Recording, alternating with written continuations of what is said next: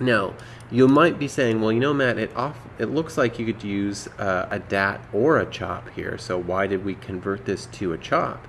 That seems uh, like we didn't need to do that. I don't like that. I don't like extra steps, and I don't blame you. I don't like extra steps either. One of the reasons I made us do that is that in general, chops are going to be a much much faster means of getting the instance information over to our GPU. That's not to say that we can't do it with tables.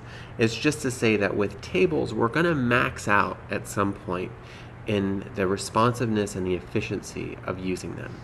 So if we can from the get-go start to think about how we think of chops as being responsible for that, we're going to be much happier. Right? And and part of the other thing that we need to understand here is that if we look closely at these two things, we can see that what's represented here as columns is converted into channels and each one of our rows is representative of a sample right so we can see that tx for example we've got one here that's at negative 1 we could zoom in and in fact if we want to see an even better representation of this we can make this viewer active right click on this and we can turn on dots. You can see over here that's dot per sample. So that lets us kind of see more clearly that we've got a negative 1, negative 1, 1, 1, 0, 0, 0, 0. Right, so it's it becomes really valuable the more we can start to understand the kind of inherent nature of the way chops work for us to be able to then take uh, advantage of how powerful they are. Okay, you're going to say, well, this is all, you know, this is great and all, that, but it's not particularly sexy. And that's, you know, I'm not going to disagree with you about that. So let's go ahead and add a noise chop here. And in the noise chop, let's head over to our channel page. And we're going to use some pattern matching. We're going to say T.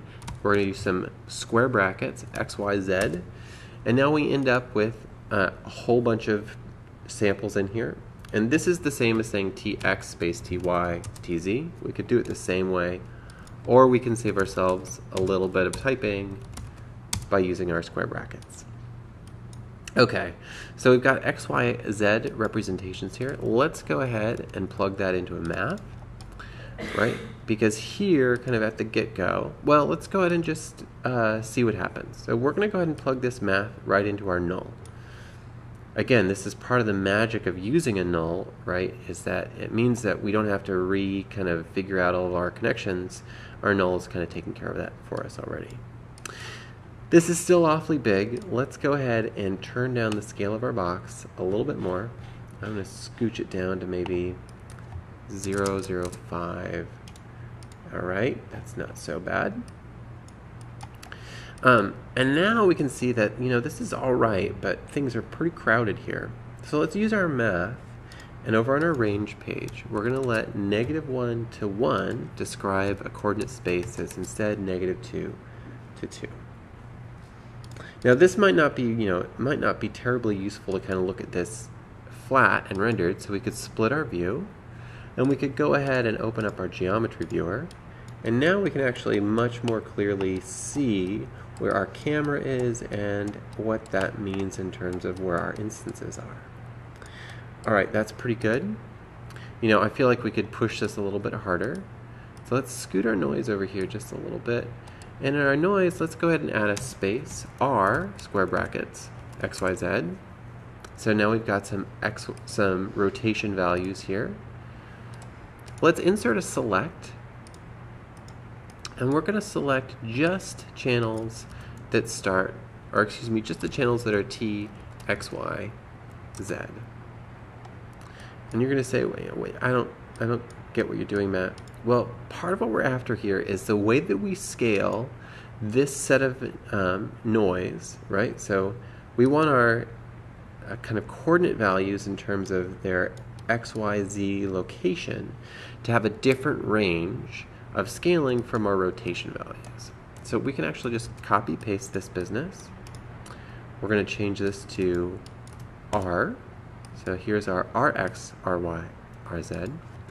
And I want this now to uh, represent a space that say 0 to 180. So negative 1 to 1 is now going to be expressed as 0 to 180. We're going to add a merge, not a merge, but a merge chop in here. We'll kind of combine all these back together. We'll go ahead and plug those back into our null.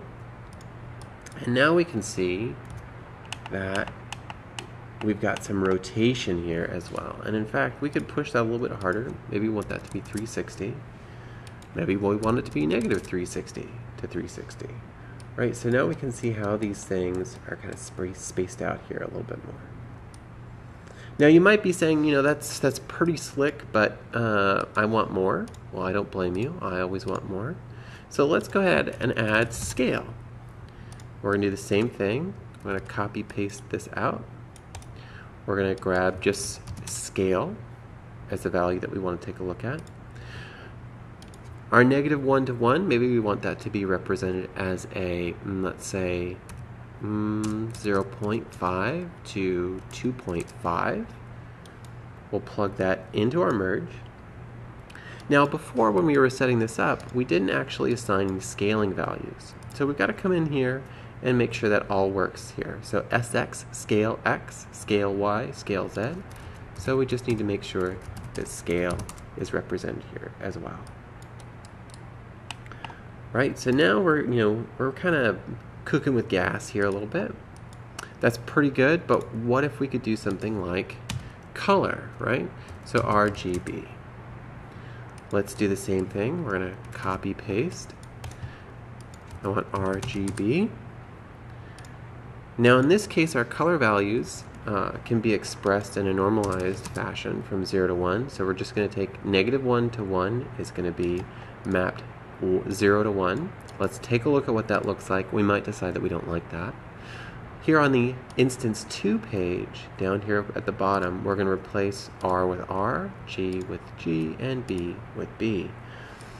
Alright, so now we've got this kind of, you know, soft color palette that's interesting if we decided that you know maybe we don't want to start at 0 we want to start at 0.5 we could do that that's fun also right? We've got kind of a, a, playful way to think about what this looks like. Now we can also do something fun like we could animate our noise. So here on the transform page of our noise under the tz parameter I'm going to put in abs time dot seconds. And now we're animating this noise which also happens to be changing the rotation, which also happens to be changing the color, right? So now we've got something that's kind of moving over time. Now, if you want to see that kind of in a more spectacular fashion, we can multiply it by 2, or maybe by 10. We'll really see it move at 10. And now we can start to see that this thing is actually, you know, cooking with gas here.